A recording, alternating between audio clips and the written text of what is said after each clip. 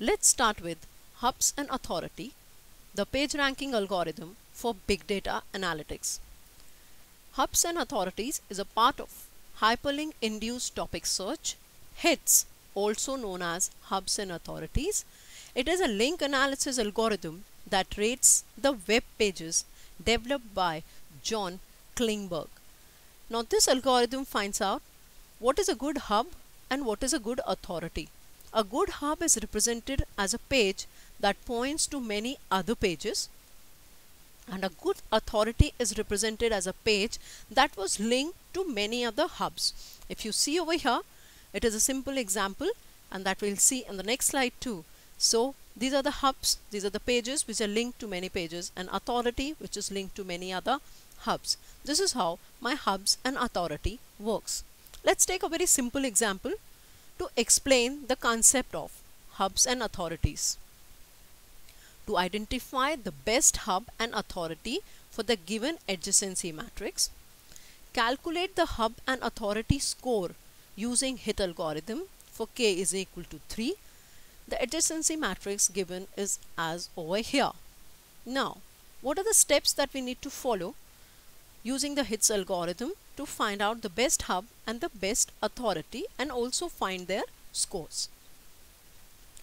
For the given adjacency matrix which is given over here, we find the adjacency matrix with the node that is it is a 4 by 4 matrix so we have the nodes labeled as n1 n2 n3 n4 that is in the rows as well as in the columns. Now after having this rows and the columns named, what we do next is we design the graph for these nodes. Now you will see that graph for these nodes are designed in such a manner that as there are four nodes, we have placed the four nodes over here as N1, N2, N3 and N4. From N1 we take over here to whichever node we are going that is the out degree of N1 so from N1 we go into N2, N3 and N4. So this is how my graph is designed. You will see the three out degrees or the out arrows which are going from N1 to N2. The arrows are over here 1, N1 to N4 and N1 to N3. Second it is created from N2 to N3 and N4. So from N2 I'm going towards N3 and I'm going towards N4. From N3 I move towards N1 that is out degree over here n4 sorry n3 to n4 again. So we move here. And from n4 to n4 itself it is over here. This is how the graph with the nodes is created. Now what do we do next? When after having a graphs with the node created this is a simple ranks which can be even created to test your answers. We have this simple rough layout way of creating the hub and the authority. The hubs are the out degrees of your nodes and authority is the in degree of your nodes. So we can rank these hubs and authorities and find out and check in the end whether the ranks of my hubs and authorities is correct or no. It usually gives us the approximate answer. From N1 we have three nodes which are going out 1, 2 and 3. So the out degree of N1 is 3 in degree there's only one node which comes from n3 to n1 so the in degree is 1 this is how we will make the table of ranks without degree and in degree. From n2 I have two nodes which are coming out. One node which is coming in n3 is again 2 in degree is 2 n4 is 1 and in degree is 4 so this is how it is creates and it creates a rank which says that rank using out degree and in degree for the hub, it is N1 because it has the highest number. We create from highest to lowest. So it is N1, N2 and N3 have a tie over here because both have the same value and then N4. And for in degree, it is N4, N3 and there's a tie between N2 and N1 over here. This is a normal ranking that we have created with the out degree and in degree. Now let's see how we created using the HITS algorithm there's an adjacency matrix which is given over here. The first step is to create a transpose of it, converting rows to columns and columns to row and it is given the name a raised to the power of t. After creating the adjacency matrix, you can see A, there's a transpose of A again. as the initial hub weight vector u is not given to us in this particular problem, we take the initial hub weight vector u as equal to 1 and we proceed with our example. If it is given, then we have to use that value and continue. So we find the authority weight vector v is equal to transpose of the adjacency matrix into the hub value. So this is a transpose matrix multiplied by my initial weight vector of hub. I get this authority value. It is we do a matrix multiplication over here, the simple matrix multiplication and the output is 1124. The hub updated weight vector u is calculated as the adjacency matrix A multiplied by the vector V that we got in the previous slide. So this is my original adjacency matrix multiplied by the vector value V. We get the hub value U and this is my hub value. After getting the V and the U value, now what do we do? We create, recreate the node graph that we have created initially with the hubs and the authority value that we got with this value that is known as k is equal to 1. This is my node graph for the value n1, n2, n3 and n4. We can again rank them with the k is equal to 1. So what happens is with this graph over here for value k is equal to 1, this is my hubs which are listed over here these are my authorities which are listed over here. And with this hubs and authorities I create my rank for k is equal to 1 and these are my hub scores which is listed over here. And this is my authority score which is listed over here. So if anybody asks you to explain what is hub and authority and its map with the value k is equal to 1 then we are supposed to solve the problem till here with k is equal to 1 listing the ranks of hubs over here in the order bigger to smaller and authorities again bigger to smaller and these are the hub scores. So for the value k is equal to 1 if it is given this is the final answer but we've been given k is equal to 3. So we will move ahead. Now this will be taken as the initial values for k is equal to 1 we have calculated hub and the authority values. Let's see how we proceed further. Now we calculate the new authority from k is equal to 1 and it is calculated as whatever is the value.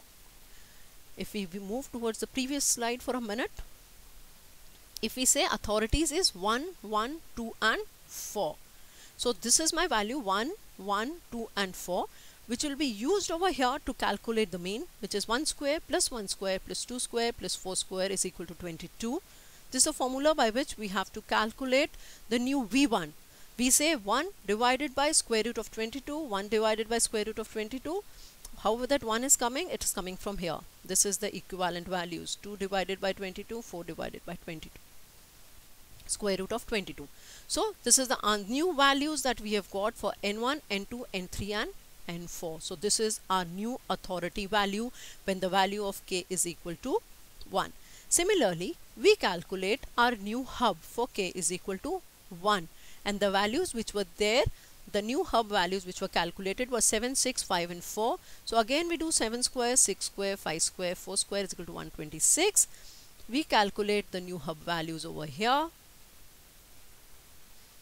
And this is my new hub values for the nodes N1, N2, N3 and N4. Now we again draw the diagram for k is equal to 2. This is my nodal diagram for k is equal to 2, the values that we had got and this is how we created. After we created the diagram, we write down the hub values again in the table. If the k value was given to you as 2, then you have to write down the hub scores are these, the authority scores are these which are listed in the table we can write the answers in the form of table. Hub ranks are given as n1 n2 n3 and n4 and authority ranks are given as n4 n3 n2 n1 there's a tie between n1 and n2 as we have to solve till k is equal to 3 we move ahead by taking this as an initial value for the next level. We calculate the new authorities and if you will see the new authorities we have summed up. It comes to 0.999 we calculate over here. I'm sorry this will be V 2 this will be v2 and this is how it will proceed further. New values for k is equal to 2 this is u2 this is again u2 and this is how again we calculate with a value from k is equal to 1 and you will see that the values that we have got over here if we move to the next slide it's similar to what was there in k is equal to 2 that's why we've written it k is equal to 3 2 but this is what we've got similar. So this will be now I'll be modifying it in front of you as 2 and now this is similar to what we have got for k is equal to 3 so if you'll see that the values of k is equal to 2 and k is equal to 3 are same. They approximately come to the same values so when we proceed further what happens? Now k is equal to 2 is similar to k is equal to 3 values. So that is what is similar to. That's the reason I have not mentioned over here. So that I can show you over here it is 2 and 3 have the similar kind of values. It is approximately similar if you will see in the variable when you do the calculations. Even the single point does not vary. So the hub score at the level k is equal to 3 and k is equal to 2 is same. The hub value and the authority values are same. And these are the hub score final hub score and this is the final hub rank and the final authority rank that we have got. Now you will see here if my value of k is was given as k is equal to 6 but when you are solving the problem and make sure that if your values are coming similar we can write down and conclude as the hub scores and authority scores have come to a consistent value. The hub score and the authority score and the ranks remain the same whatever it is at k is equal to 3. These are the final values for k is equal to 3.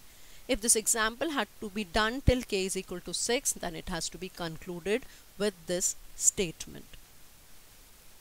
Now for k is equal to 3 as I shown that this is the value that I get which I said that I have approximated. This is the final score that you will draw for k is equal to 3 and when I draw this k is equal to 3 score and the approximation table will be created again for k is equal to 3 as the uh, table for k is equal to 2 and k is equal to 3 is the same.